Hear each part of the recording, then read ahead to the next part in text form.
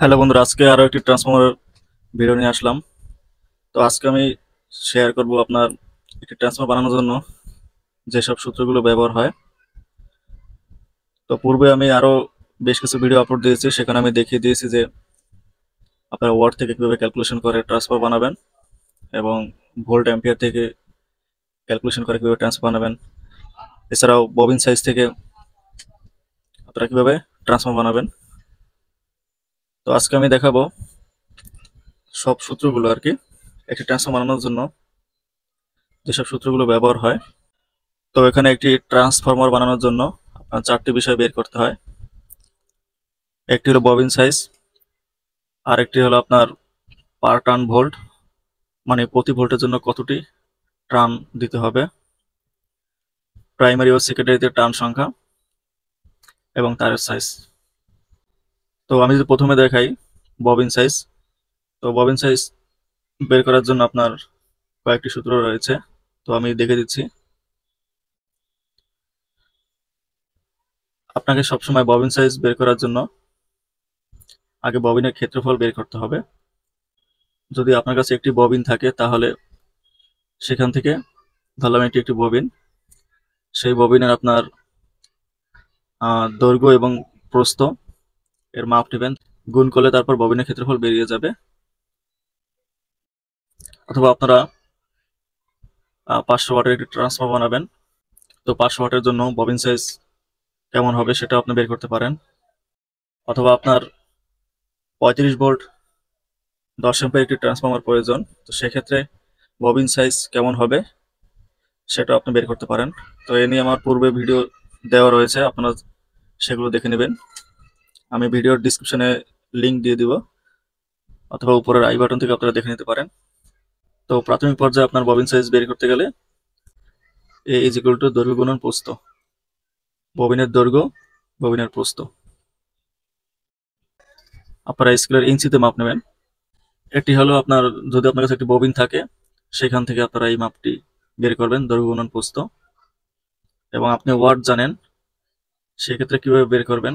যে আমার এই ওয়াটের জন্য সাইজের ববিন দরকার। তাহলে প্রথমে ক্ষেত্রফল বের করতে হবে, তারপর ক্ষেত্রফল থেকে দৈর্ঘ্য এবং পোস্ত বের করতে হবে।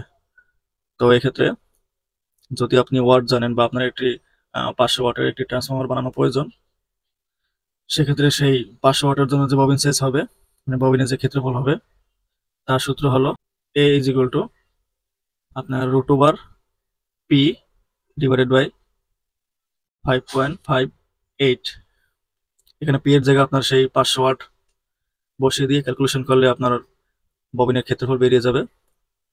তারপর ক্ষেত্রফল বের হলে আপনার ধরলাম ফোর বের হয়েছে ক্ষেত্রফল, ধরলাম আর কি, এত স্কোয়ার ইঞ্চি আর কি। তো আপনার যে ববিনটি থাকবে, তো ববিনের সাইজ নির্ভর করে আপনার কোরের উপর।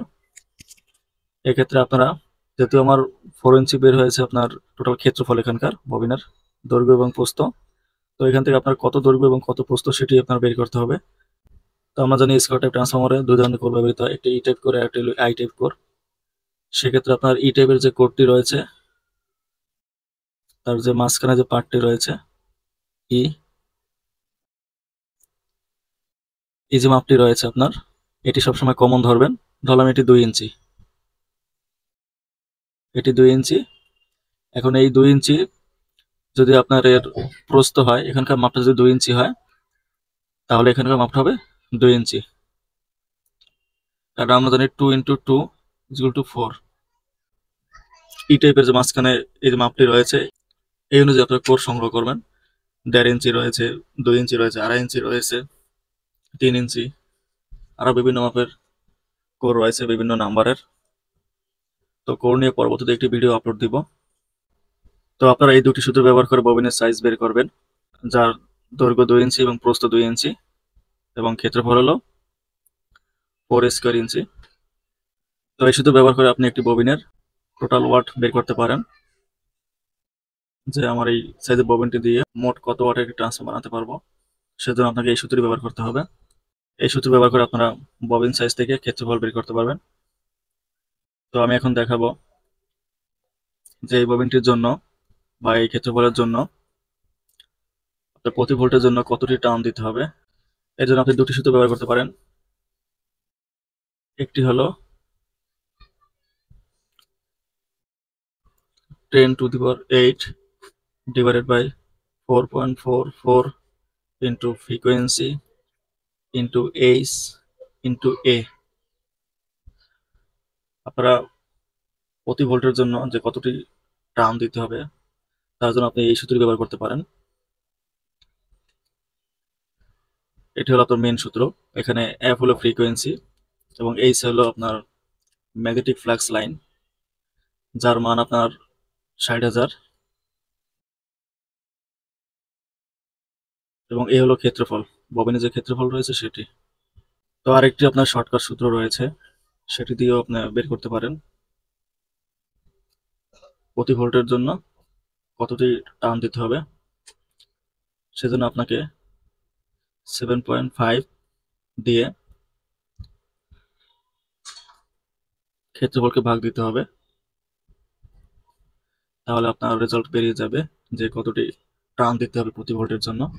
এটি হলো আপনার শর্টকাট নিয়ম এবং এটি হলো আপনার মেন সূত্র।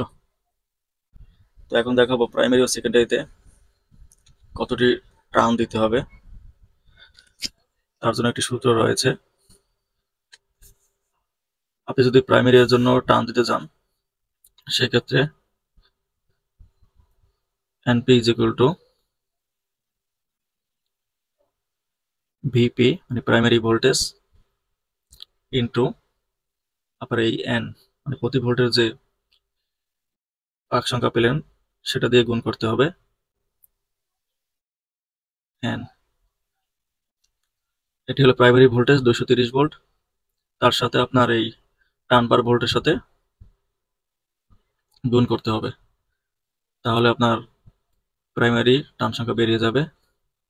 তো সেকেন্ডারি ক্ষেত্রেও same ns is equal to vs into n এটা আপনার ns হলো সেকেন্ডারি পাক সংখ্যা ভিএস হলো আপনার সেকেন্ডারি ভোল্টেজ ইন্টু n মানে পার টার্ন ভোল্ট তো এক্ষেত্রে বিএস এর ক্ষেত্রে আপনার যদি পঁয়ত্রিশ ভোল্ট বা বারো ভোল্ট বা চব্বিশ ভোল্টের ট্রান্সফার বানানো প্রয়োজন, সেটা দিয়ে আপনার এখান থেকে যে, এই রেজাল্ট থেকে যে সংখ্যাটি বের হবে, তার সাথে গুণ দিলে বেরিয়ে যাবে সেকেন্ডারি পাক সংখ্যা।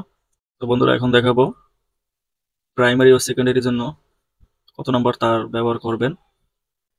তো তার এসএস বের করতে গেলে আপনাকে প্রথমে প্রাইমারি ও সেকেন্ডারি কারেন্ট বের করতে হবে। সেক্ষেত্রে সূত্র রয়েছে, ধরলাম IP primary current is equal to P divided by এই ভিপি মানে প্রাইমারি ভোল্টেজ এই সূত্রটি ব্যবহার করতে হবে। আপনার এখানে পিটি হলো মোট পাওয়ার আপনার যে ওয়াটের এটা ট্রান্সফার প্রয়োজন, ধরলাম ছয়শো ওয়াট ছয়শোকে দিয়ে আপনার এই ভিপি ভিপি মানে প্রাইমারি ভোল্টেজ প্রাইমারি ভোল্টেজ দুইশো তিরিশ ভোল্ট দিয়ে তার ভাগ দিতে হবে। তাহলে এখানে প্রাইমারি কারেন্ট বেরিয়ে যাবে। এবং দুই নম্বর হলো IS secondary current P divided by VS এখানেও সেম আপনাকে ওয়াট থেকে সেকেন্ডারি ভোল্টেজকে ভাগ দিতে হবে। তো ছয়শো ওয়াটকে যদি আমার সেকেন্ডারি ভোল্টেজ ধরলাম বারো ভোল্ট চব্বিশ ভোল্ট অথবা পঁয়ত্রিশ, চল্লিশ, তো আমার যদি পঁয়ত্রিশ ভোল্ট দরকার সেকেন্ডারিতে সেক্ষেত্রে আমাকে পঁয়ত্রিশ দিয়ে, সেক্ষেত্রে আমাকে ছয়শো দিয়ে পঁয়ত্রিশ ভাগ দিলে এর সেকেন্ডারি অ্যাম্পিয়ার বেরিয়ে যাবে।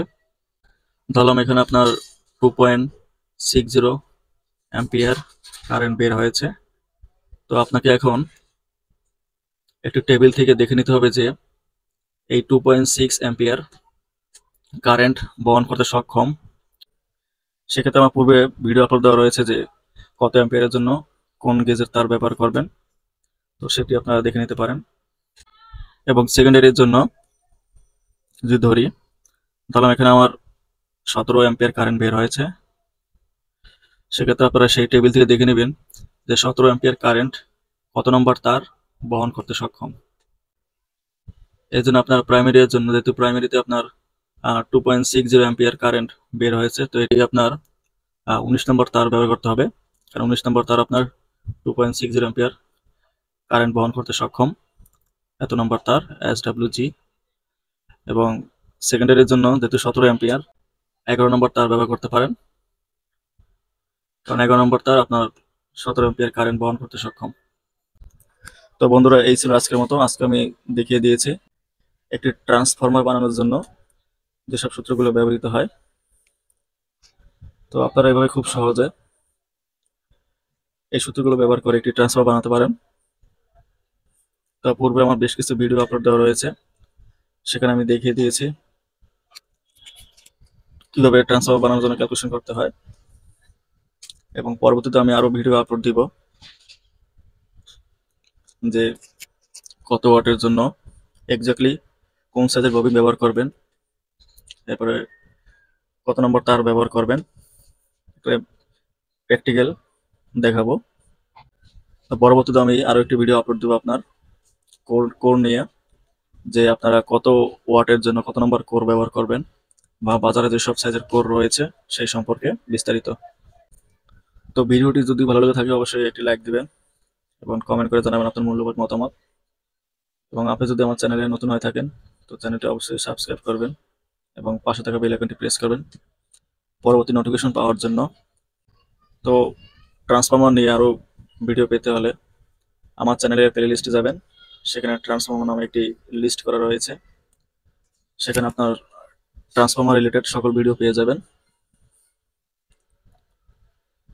তো আজকে ছিল এই পর্যন্তই। ধন্যবাদ।